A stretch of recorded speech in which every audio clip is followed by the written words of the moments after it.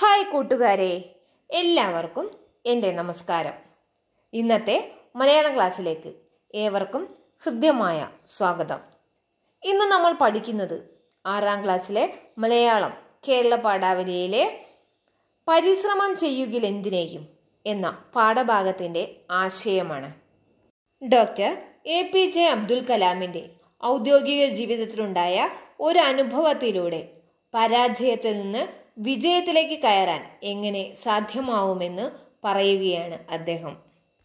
ഒരു ശാസ്ത്രജ്ഞൻ ഒരിക്കലും പരാജയത്തിൽ പതറുന്നില്ല. ചില സന്ദർഭങ്ങളിൽ കൈക്കൊള്ളുന്ന തീരുമാനങ്ങളിലെ പിഴവ് പരാജയങ്ങൾക്ക് ഇടവരുത്തുമ്പോൾ ആ തകർച്ചയെ ഉൾക്കൊള്ളാനും പിഴവുകൾ തിരിച്ചറിഞ്ഞ് സ്വയം തിരുത്തി മുന്നേറാനും ശക്തമായ പ്രചോദനങ്ങൾ വേണ്ടിവരും. ഇവിടെ വിവരിക്കുന്ന അനുഭവം അത്തരത്തിലുള്ള ഒന്നാണ്. അതാണ് പരിശ്രമം ചെയ്യുകിലെന്തിനേയും എന്ന പാഠഭാഗത്ത് പറയുന്നത്. പാഠഭാഗത്തിന്റെ സംഗ്രഹം നോക്കാം. കലാമിന്റെ ജീവിതത്തിൽ വേണ്ടുവോളം ഉയർച്ച താഴ്ചകൾ ഉണ്ടായിട്ടുണ്ട്.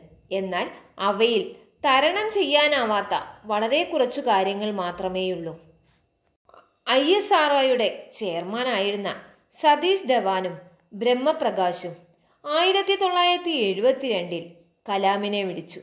വളരെ പ്രധാനപ്പെട്ട ഒരു കാര്യം നിങ്ങളെ ഏൽപ്പിക്കാൻ പോവുകയാണ്. അദ്ദേഹം പറഞ്ഞു നിങ്ങളായിരിക്കും എസ് എൽ വി ത്രീ എന്ന പദ്ധതിയുടെ ഡയറക്ടർ. അതിനാവശ്യമായ പണം നിങ്ങൾക്ക് തരും.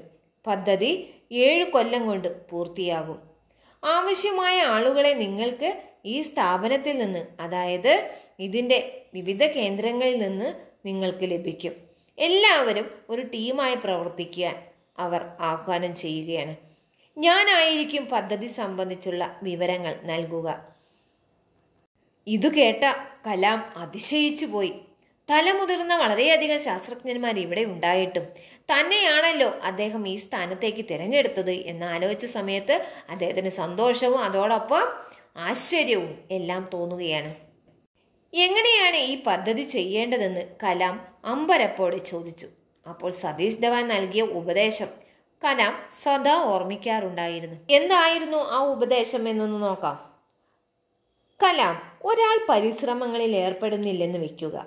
എങ്കിൽ അയാൾ തന്റെ മാളത്തിൽ തന്നെ കഴിഞ്ഞുകൂടുകയായിരിക്കും. നാം ഒരു ദൗത്യമോ ചുമതലയോ ഏറ്റെടുക്കുമ്പോൾ പ്രശ്നങ്ങൾ ഉണ്ടാവും. നിങ്ങൾ ആ പ്രശ്നത്തെ സ്വന്തം പിടിയിലൊതുക്കണം. അതിനെ തോൽപ്പിക്കണം. അങ്ങനെയാണ് വിജയം കൈവരിക്കേണ്ടത് എന്നതായിരുന്നു ധവാന്റെ ഉപദേശം. ഏഴു കൊല്ലത്തിന് ശേഷം ആയിരത്തി തൊള്ളായിരത്തി എഴുപത്തി ഒമ്പത് ആഗസ്റ്റിൽ ഉപഗ്രഹ വിക്ഷേപണത്തിന്റെ സമയം അടുത്തു വന്നു. എല്ലാവരും വളരെയധികം ആകാംക്ഷയോടുകൂടി ശ്രീഹരിക്കോട്ടയിൽ കാത്തു നിൽക്കുകയാണ്. അവസാന ഘട്ടത്തിലാണ് ഓട്ടോ പൈലറ്റ് മോഡിലേക്ക് നോക്കുമ്പോൾ കമ്പ്യൂട്ടറിന്റെ മുന്നറിയിപ്പ് വന്നത്. വിക്ഷേപണം തുടങ്ങരുതെന്ന്. കലാം മറ്റുള്ള മുതിർന്ന വിദഗ്ധരോടെല്ലാം അന്വേഷിച്ചു. അവർ പറഞ്ഞു പേടിക്കേണ്ട നിങ്ങൾ വിക്ഷേപണം നടത്തിക്കൊള്ളൂ എന്ന് പറഞ്ഞതനുസരിച്ച് കലാം എന്ത് ചെയ്യുന്നു? പദ്ധതിയുടെ ഡയറക്ടർ എന്ന നിലയിൽ ഉള്ള ഉത്തരവാദിത്വത്തോടെ കലാം കമ്പ്യൂട്ടറിനെ മറികടന്ന് കൈകൊണ്ട് പ്രവർത്തിപ്പിച്ച് വിക്ഷേപണം ആരംഭിച്ചു. വിക്ഷേപണം പരാജയപ്പെടുകയും ഉപഗ്രഹ വാഹനം ബംഗാൾ ഉൾക്കടലിൽ പതിക്കുകയും ചെയ്തു.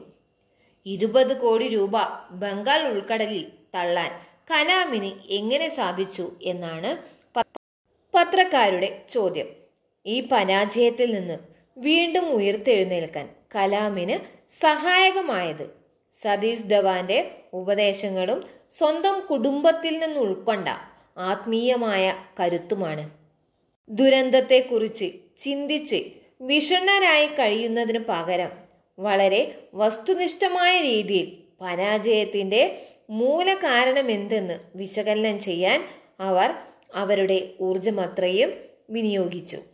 ഒടുവിൽ കുഴപ്പം എയർ കണ്ടീഷനിങ് പ്ലാന്റിന്റേതാണെന്ന് മനസ്സിലാക്കി. വിക്ഷേപണത്തിന് മുമ്പുള്ള സമയത്ത് കൺട്രോൾ പവർ പ്ലാന്റിന്റെ വാൽവിൽ പൊടി കടന്നതായിരിക്കാം കാരണം എന്ന് അവർ കണ്ടെത്തി. തന്മൂലം അത് ശരിയായി പ്രവർത്തിക്കാതായി. ഈ സംഭവത്തിനു ശേഷം എല്ലാ ഉപകരണങ്ങളുടെയും ഗുണനിലവാരം കർശനമായി പരിശോധിച്ച് ഉറപ്പുവരുത്തിയതിനു ശേഷം മാത്രമായിരുന്നു വിക്ഷേപണം നടത്തിയത്. ഈ ഒരു പരിശ്രമത്തിലൂടെ സാങ്കേതിക പ്രശ്നങ്ങൾ കണ്ടെത്താൻ മാത്രമല്ല സാധിച്ചത്. ശാസ്ത്രജ്ഞരുടെ മനോവീര്യം ഉയർത്താനും ഇതിലൂടെ സാധിച്ചു. അടുത്ത ഒരു കൊല്ലത്തിനുള്ളിൽ തന്നെ രണ്ടാമത്തെ വിക്ഷേപണം നടത്താൻ കലാമിനെ പ്രാപ്തനാക്കി. ഈ ഉദ്യമത്തിൽ അദ്ദേഹം വിജയിക്കുകയും ചെയ്തു. പരിശ്രമം ചെയ്യുകിൽ എന്തിനേയും എന്ന പാഠഭാഗത്തിന്റെ ആശയമാണ് നമ്മളിപ്പോൾ പറഞ്ഞത്. അപ്പോൾ അതെല്ലാവർക്കും മനസ്സിലായിട്ടുണ്ടാവും എന്ന് കരുതുന്നു. ഈ ഒരു ആശയം മനസ്സിലായി കഴിഞ്ഞു കഴിഞ്ഞാൽ നമുക്ക് ഏത് ക്വസ്റ്റ്യനും ഇതിൽ നിന്ന് വന്നു കഴിഞ്ഞാൽ എഴുതാൻ പറ്റുന്നതാണ്. നിങ്ങളുടെ വിലയേറിയ അഭിപ്രായങ്ങളും നിർദ്ദേശങ്ങളും എല്ലാം എന്നെ അറിയിക്കുക. കൂടാതെ ഈ വീഡിയോ ഇഷ്ടപ്പെട്ടെങ്കിൽ ലൈക്ക് ചെയ്യാനും ഷെയർ ചെയ്യാനും സബ്സ്ക്രൈബ് ചെയ്യാനും മറക്കരുത്.